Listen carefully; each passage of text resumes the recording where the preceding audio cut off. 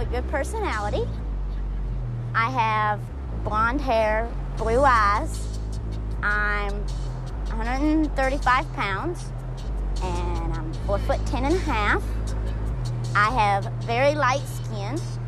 I am considered what you would call an albino.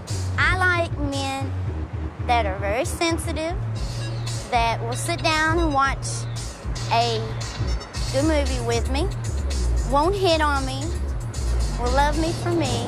I like men that either have blonde hair, blue eyes, or black or brown hair. Actually, the eyes, it, it really doesn't matter. My favorite movie stars are Pamela Anderson and Patrick Swayze. Patrick Swayze is sexy. He's good looking. I love that man to death.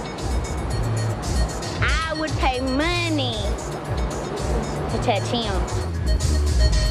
When I was born, I was born without any toes on my feet at all. I would pick up things with the balls of my feet instead of my toes. I had, I had trouble walking on my feet.